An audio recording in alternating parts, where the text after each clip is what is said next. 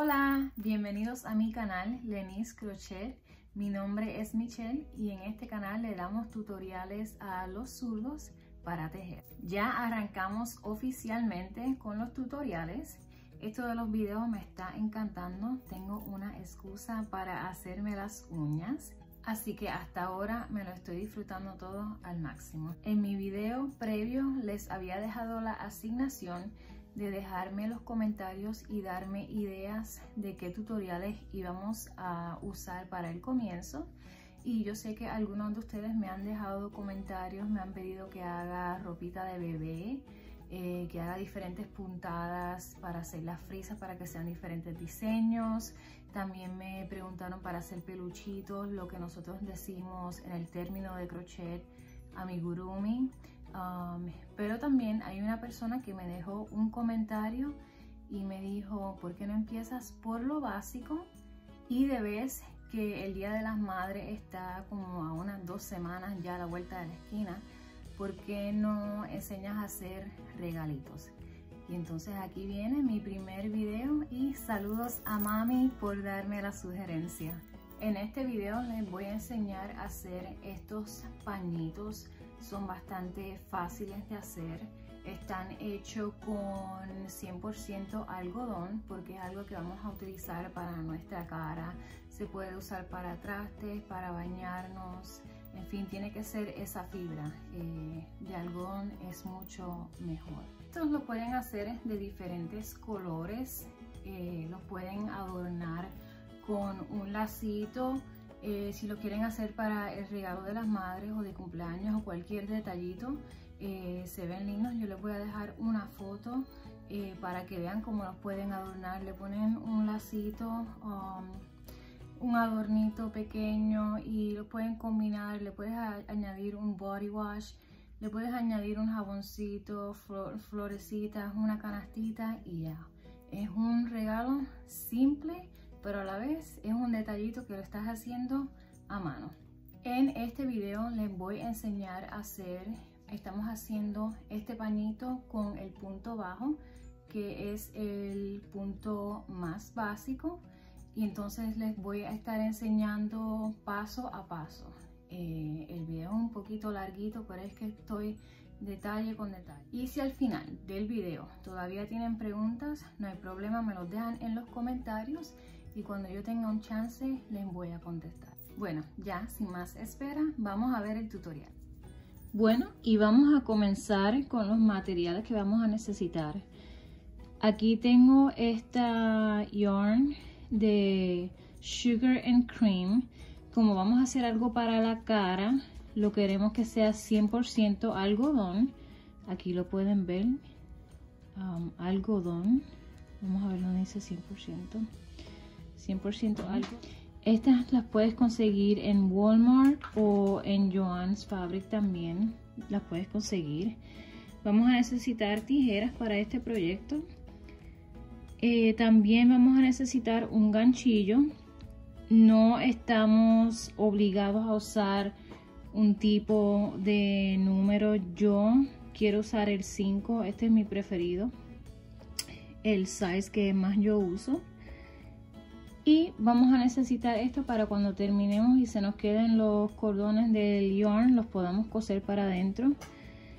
Y como vamos a hacer un cuadrado vamos a medirlo para que nos quede exacto y así no nos quede rectangular.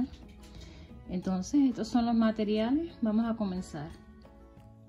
Ok vamos a comenzar entonces con el pañito Quiero que sea más o menos para que nos quede en un cuadrado. So, quiero hacerlo, vamos a intentar hacerlo 6 por 6 Voy a empezar con 25 cadenetas. Digo 25 porque ya yo lo medí antes y me había salido más o menos 6. Vamos a ver si me sale ahora lo mismo. Vamos, empezamos. ¿Cómo hacemos el nudillo? Yo digo que te quede como un un pretzel. ¿Ves cómo te queda así? Y entonces insertas. Lo tienes ahí y alamos. Vamos a dejar el hilo largo porque recuérdense que lo vamos a coser adentro. No lo podemos cortar si no se nos descose. Entonces, comencemos. Vamos a intentarlo con 25 cadenetas. Y empezamos. 1, 2, 3, 4, 5, 6, 7, 8, 9, 10, 11, 12, 13, 14, 15, 16, 17, 18, 19, 20, 21, 22, 23, 4 y 25. Ya seguía haciendo un poco más rápido. Eh, para que no me vean contando hasta el final. Vamos a ver. Ok, más o menos 6 pulgadas.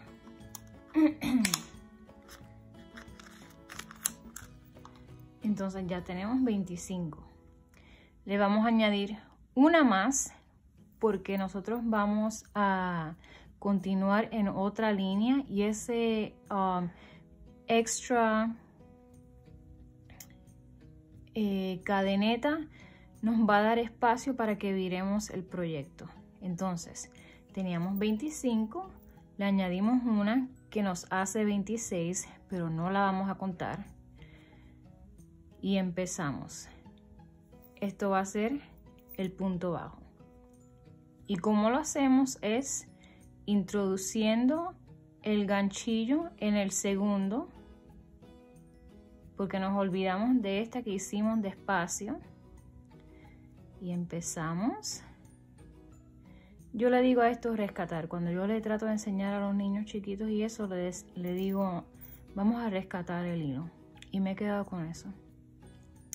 Ya tenemos dos y le hacemos una tercera y vamos, rescatamos otra vez.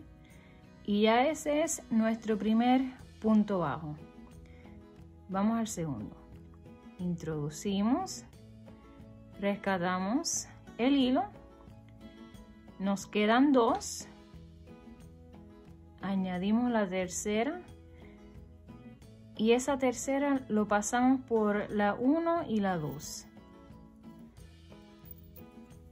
vamos a hacerlo otra vez.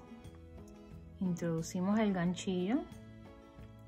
Rescatamos el hilo y nos quedan dos. Vamos a hacer una tercera y ese tercero tiene que pasar por las primeras dos. Y aquí vamos. Voy a seguir haciendo dos o tres más lo más lento posible para que puedan ver cómo estoy haciendo el punto bajo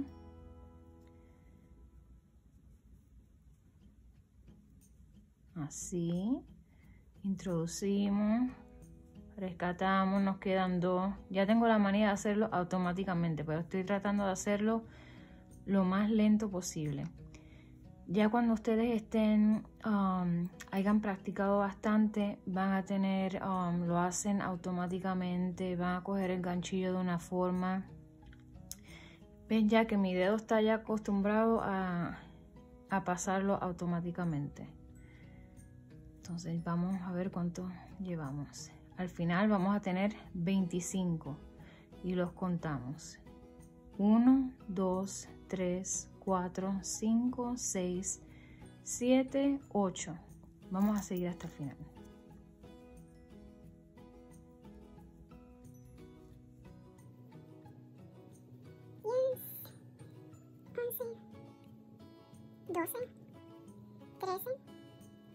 Catorce, quince,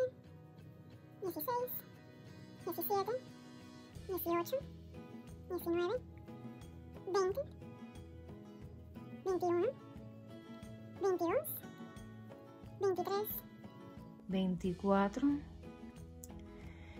Este es el último, es el 25. Esto es algo que yo hago. Eh, vamos a ver.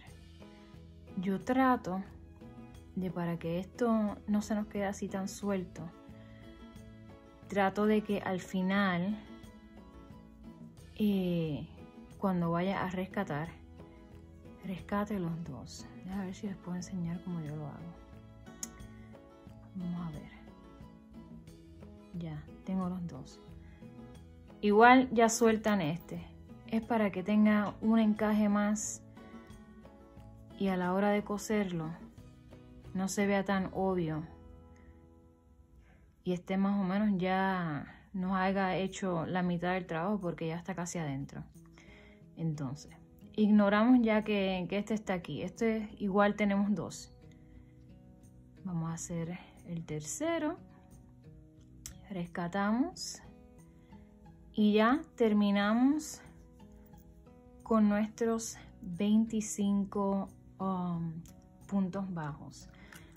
Cuando uno está tejiendo, hay personas que tejen um, bien apretado, otras bien sueltas. Yo creo que yo um, hago el crochet bastante apretado.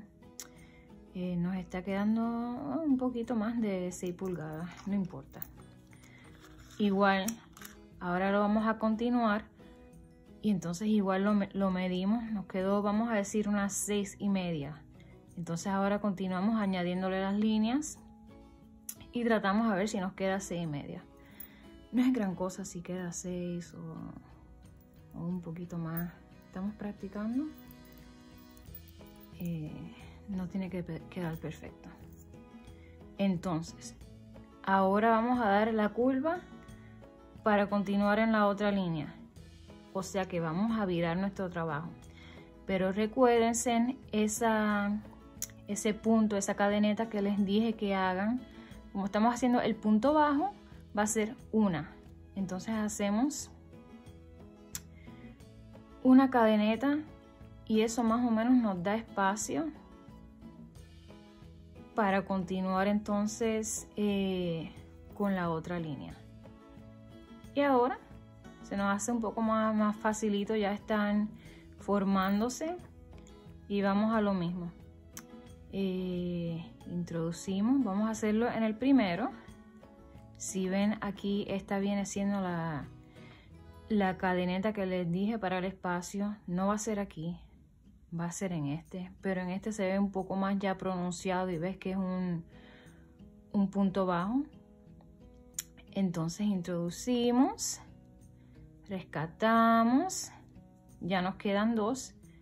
Vamos a la tercera entonces la número 3 va a pasar por 1 y 2. Y aquí vamos. Vamos al segundo. Y aquí vamos. Y así seguimos. Ya aquí tenemos 7 líneas. Eh, al principio a lo mejor se les hace un poco difícil el contar las líneas, a lo mejor se pierden. Yo tengo a veces cuando estoy haciendo unos trabajos como son los peluchitos y eso, eh, yo igual cojo mi libretita y cuando doy una vuelta marco un numerito doy otra vuelta y marco otro. So, si ustedes quieren hacer ese método en lo que se acostumbran a contarlas, porque a veces yo sé que como que come los ojos y no las puedes contar. Pero ya yo sé, aquí tengo siete. Déjame ver si pueden ver más o menos. Esta es la, la inicial. So, aquí tenemos una, dos, tres, cuatro, cinco, seis y siete. Vamos entonces a seguir, yo voy a seguir completando el cuadro y los vemos cuando esté casi a punto de terminar y les voy a enseñar cómo coser esto para adentro. Muy bien, entonces ya estamos a punto de terminar nuestro cuadrado. Me terminó midiendo. ¿Se acuerdan que empezamos y yo dije voy a empezarlo por 5? No, yo dije 6 desde el principio. Después lo medí, me estaba quedando unas seis y media. A medida que estoy haciendo el proyecto va cogiendo más forma. Y entonces ya terminé y eran exactamente 7 pulgadas. Estos son igual 7 pulgadas. Y ya estamos aquí al terminar. Les voy a enseñar aquí.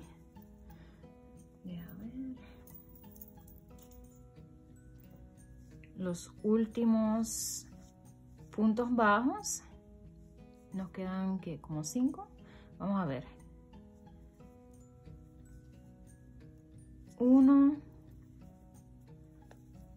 2 3 4 y 5. Ya terminamos. Siempre estaba contando, bueno, ya yo estoy acostumbrada.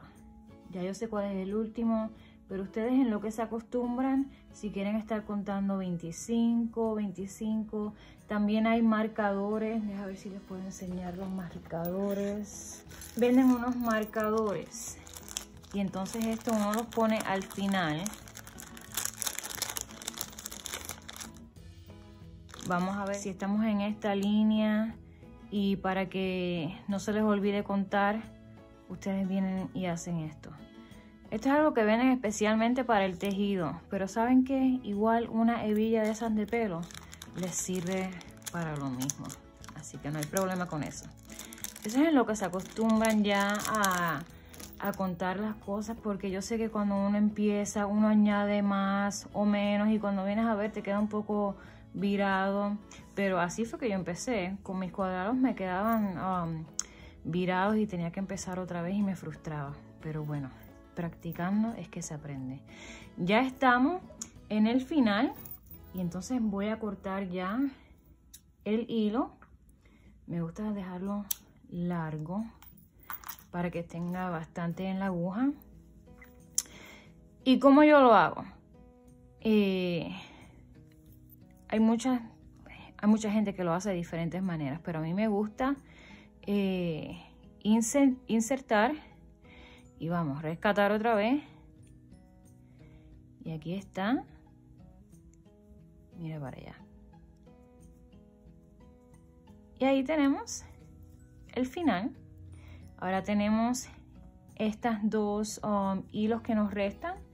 Vamos entonces a coserlo. Y esto una vez más, las cosas que yo les estoy enseñando es como yo las hago a mi estilo, lo que funciona mejor para mí. Está un poco abierto, vamos a cortarlo para que entre mejor en la aguja. Eh, vamos a ver. Ya esta sería la parte final. Y vamos. Como dije, me gusta siempre larguito. Um, a mí me gusta eh, que se apriete tanto como en forma de, laberinto. Eh, mientras más complicado veas que se te haga para insertar, va a ser mejor porque va a ser imposible sacarlo. Por eso muchas veces que yo empiezo mis trabajos y los termino, ya los tengo que empezar de nuevo desde el principio. Porque no les puedo encontrar el hilo para, para deshacerlo y empezar. Bueno, ya tenemos ese. Entonces, ¿qué, ¿qué pasa? Si vuelves a entrar de la misma manera, se te va a salir el hilo. Lo que vas a hacer es descoser lo que ya hiciste. Entonces yo voy un poquito más eh, hacia adelante y entonces encajo otra. Y ahí. Entonces seguimos encajando. A veces eh, no coges las mismas, las, las escoges al azar. Ya está más apretado. Y vuelvo. Si vuelves en el mismo, sabes que se te va a soltar. Entonces ve un poquito más hacia atrás y ahí, la cuestión es encajarlo. Mira. Yo creo que ya basta aquí. Ya está bastante. Ya este va a estar terminado. Mira a ver si ustedes lo encuentran. Jamás y nunca. Ahora tenemos el otro.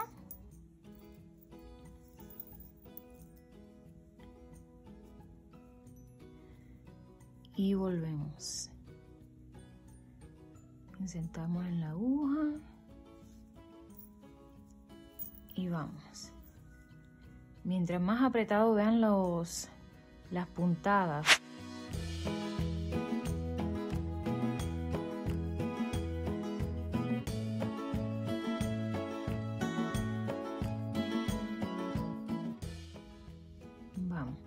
Vieron que al principio en el otro empecé así de lado.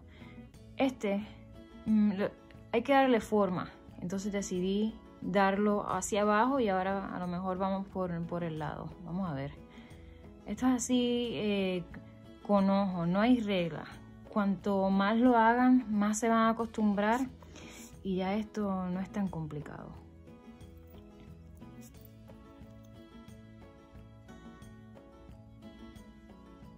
Seguimos encajando. Mientras más apretado quede mejor. Unas tres veces basta. ya yo hice una, dos de vuelta y vamos a hacer aquí eh, la última. Ya.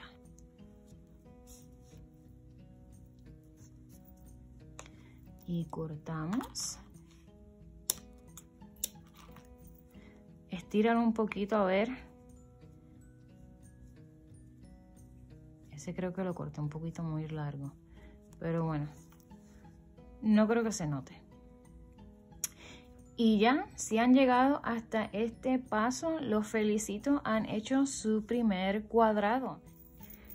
Y como les dije, esto ya está terminado y habíamos usado el hilo que es 100% algodón. Yo les había dicho de esa marca de Sugar Cream, pero igual hay muchísimas marcas eh, en Walmart, Michaels, uh, Joann's Fabric, cualquier tienda local que tengan de cosas de crafts, de manualidades. Eh, y así terminó. Eh, puede ser un pañito para la cara, cosas para fregar. Ya más adelante, lo que pasa es que quise hacer este video lo más simple posible. Eh, les puedo enseñar cómo hacer un borde eh, y podemos escoger otro color eh, para darle más detallitos, pero por ahora un simple cuadrado se puede usar de regalo. Hasta aquí llegó nuestro video de hoy. Si han logrado hacer su primer cuadrado, los felicito. Si tienen alguna pregunta, me dejan en los comentarios si necesitan que les explique algo más. Y hasta aquí llegó mi uh, video por hoy. No se olviden de suscribirse y darle a la campanita para cada vez que yo ponga un nuevo video les avise. Bye.